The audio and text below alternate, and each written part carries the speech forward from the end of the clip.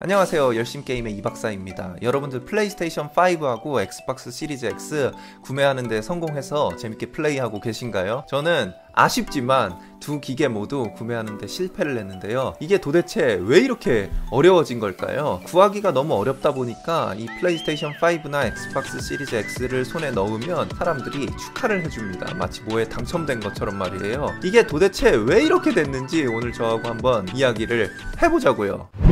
제가 이 예약 구매 당일날 정말 깜짝 놀란 게 있습니다. 이 플레이스테이션 5 예약 구매가 끝난 그날 바로 이베이에 들어가 보니까 벌써부터 되팔이들이 이 물건을 이베이에 올려놓고 팔기 시작을 한 거예요. 배송도 되지 않았는데 예약 구매 성공했다는 스크린샷을 올려놓고 원래 가격보다 두 배에 팔고 있더라고요. 그게 지금까지도 쭉 이어지고 있어요. 지금 현재 2020년 11월 24일 이베이 한번 저하고 한번 살짝 훑어 보시겠습니다. 이게 플레이스테이션 5로 이베이에서 검색했을 때 지금 나오는 화면이에요. 첫 번째 seller를 보면은 1799.99달러에 올려놨는데 세상에 16개를 팔았어요. 16개나 갖고 있었다라는 사실도 놀랍고 1799구 도대체 몇 배에 파는 거야? 24대를 팔았어요. 1695불에 16대를 팔았다는 거. 이게 무슨 일입니까? 1288달러에 팔고 6대를 팔았네요. 한 대도 구하기 힘든 이 플레이스테이션이 누군가에게는 16대, 24대, 6대가 있었다는 겁니다. 100만원 가까운 이득을 보는 거죠. 한 대마다. 이 사람 사진 봐요. 엑스박스 시리즈 X도 크게 다르지 않아요. 1299.99달러에 팔리고 있죠. 무려 40대나 팔았습니다. 40대나. 26대 팔았고요. 어떻게 이렇게 많은 대수가 한 사람에게서 팔리고 있는 걸까요? 그래서 기사를 한번 살펴봤는데 플레이스테이션 5의 그 되팔이들이 대부분의 대형 retailer들보다도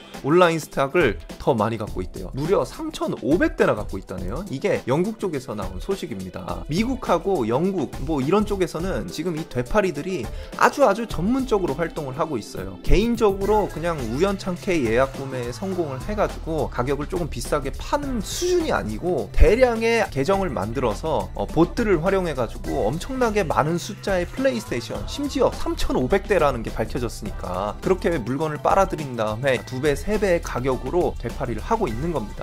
한국도 지금 가격을 보면은 3배까지는 아니지만 100만 원에 가까운 가격으로 플레이스테이션 5와 엑스박스 시리즈 X가 팔리고 있고요. 이게 직접적인 증거는 없지만 이 사람들도 전문적으로 활동하는 업자들이 없다고 보장할 수 없는 상태인 거예요. 아주 심각한 문제라고 저는 생각을 하고 개인적으로 정말 짜증난다고 생각을 해요. 어떤 문제점들이 있을까요? 먼저 첫 번째 문제점은 저같이 이 게임을 좋아하는 사람들이 부당하게 금전적으로 손해를 본다는 겁니다. 이 제작사가 제시하는 적정 가격으로 게임기를 구매할 수가 없고 두 배, 세 배의 가격으로 구매를 할 수밖에 없다는 거. 그게 일단 첫 번째로 가장 짜증나는 문제인 거죠. 자본주의 사회에서 내가 내 돈으로 싼 가격의 물건을 사서 이윤을 붙여서 파는 게 뭐가 문제냐 이렇게 생각할 수도 있어요. 아주 단순하게 생각 하면 현재 법적으로도 이거를 문제 삼기가 애매한 것도 사실이고요. 어쨌든 게이머로서 이 되파리들을 미워할 수밖에 없죠. 두 번째 문제점은 엉뚱한 사람들이 이득을 본다는 겁니다. 이 플레이스테이션이고 액박이고 누가 만들었어요? 이 자금을 투입을 하고 기술력을 투입을 해가지고 게임기를 만든 거 아닙니까? 근데 게임기를 팔아가지고 마진율이 사실 높지가 않아요. 이 소니와 마이크로소프트사의 마진도 높지가 않을 뿐더러 이 소니와 마이크로소프트의 기계를 띄어다가 파는 일반 소매점들도 마진이 그렇게 높지가 않습니다. 이 정식적으로 정식 루트를 통해 가지고 이 게임기를 판매하는 소매상들은 이득이 5% 10%대인데 이 되팔이들의 마진율이 100% 200%라는 게 정말 윤리적으로 정말 못된 일이죠. 그리고 세 번째 문제는 이 되팔이들이 되팔이들을 더 늘어나게 한다는 것도 심각한 문제입니다. 이게 악순환이죠. 플레이스테이션을 예약 구매를 해가지고 사는데 성공하기만 하면 내가 게이머가 아니어도 100만 원에 팔 수가 있는데 그러니까 이 게임을 좋아하는 사람들 뿐만이 아니라 관심이 없는 사람들도 예약 구매에 참여하게 되고 심지어 예약 구매에 한 번 성공한 사람들조차도 한 대 더 구매하면 무조건 이득이라는 생각 때문에 계속해서 도전하는 사람들도 있고 이렇다는 거예요. 점점 시간이 지난다고 해가지고 예약 구매가 쉬워지는 게 아니라 점점 열기가 더해지면 더해질수록 구매가 점점 더 어려워지고 가격은 또 올라가게 되는 거죠.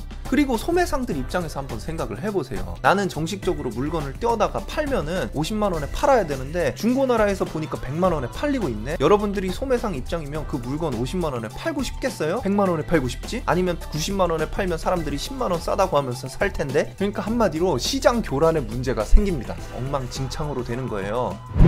이게 어려운 문제인 게 실제로 실생활에 꼭 필요한 물건 예를 들어서 쌀이라던가 무슨 물이라던가 이런 걸로 이런 걸 하면은 법적으로 강력하게 조치를 할 수가 있는데 이게 뭐 게임기 같은 거야 뭐 안 사도 그만인 물건이기 때문에 사실 이걸 법적으로 강력하게 조치하기가 힘들단 말이죠. 그럼에도 불구하고 몇 가지 해결책들을 한 번쯤은 생각해 볼 수가 있습니다. 먼저 첫 번째 해결책은 온라인 쇼핑몰에서 가짜 계정과 봇들을 잘 걸러내는 거예요. 이거는 기술적으로 노력을 하면 충분히 할수 있다고 생각을 해요. IP를 체크한다거나 사람이 아니면 풀지 못하는 문제 같은 것들을 중간 단계에 넣는다거나 혹은 같은 주소로 배송되는 물건들의 수량을 조정한다거나 이런 식으로 해서 이상한 것들을 탐지를 해서 온라인 쇼핑몰에서 꼼수를 사용해서 구매하는 물량은 다 뱉어내도록 이런 식으로 조치를 해주면은 일단 조직적으로 행동하는 되파리들은 막을 수가 있겠죠. 그리고 두 번째 해결책은 제조사에서 조금 이 문제를 심각하게 받아들이고 순차적으로 예약을 받는 거예요. 들어오는 대로 순차적으로 받아놓고 배송일을 동시에 맞추지 않더라도 예를 들어서 지금 예약을 하면은 공정하게 줄을 세워서 순차적으로 배송을 해주는 거예요. 그러면은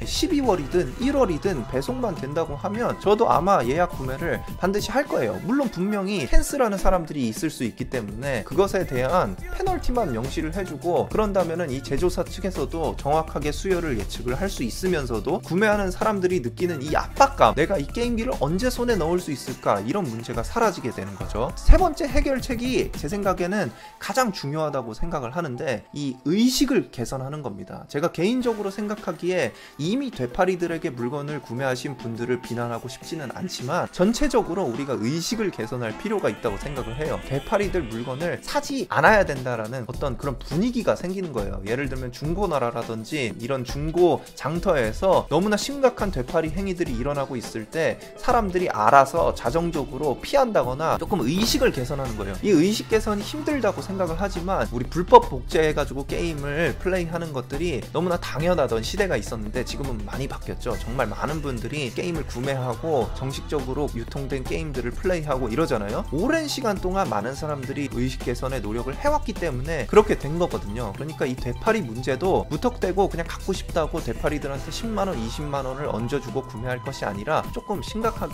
생각을 해보고 내가 이 게임기를 지금 당장 꼭 플레이해야 될 이유가 뭐가 있습니까? 솔직히 당장 구매를 할 필요가 없어요. 이건 쌀이나 물 같은 어떤 생필품이 아니기 때문에 반드시 물량은 안정화가 될 것입니다. 그리고 이 되파리들이 이게 시간이 지나면서 장사가 안 되고 사람들이 손가락질하는 행위로 인지가 되기 시작을 하면은 활동하는 게 점점 어려워질 거고 자연스럽게 개선이 될 수 있다고 생각을 해요. 근데 어, 의식 개선 하나만으로는 될 일이 아니라고 생각을 하고 이 온라인 쇼핑몰 리테일들이 여러 가지 장치를 마련을 해주고 제조사 측에서도 조금 더 유연한 예약 판매 방식을 제공하고 이런 식으로 여러 가지 복합적으로 이 문제를 해결하려고 노력을 해야지만 이 문제가 어느 정도 해결될 수 있지 않을까 그런 생각을 해봅니다. 여러분들 게이머들 가슴에 대못 박지 마세요. 이 게임 안 할 사람 게임기 사가지고 쌓아놓고 어, 돈 벌어가지고 뭐 그거 갖고 평생 먹고 살 거야? 뭐 플레이스테이션 5 몇 대 팔아가지고 뭐 얼마나 먹고 살겠다고 그러지 마. 그러면 안 돼. 알겠죠?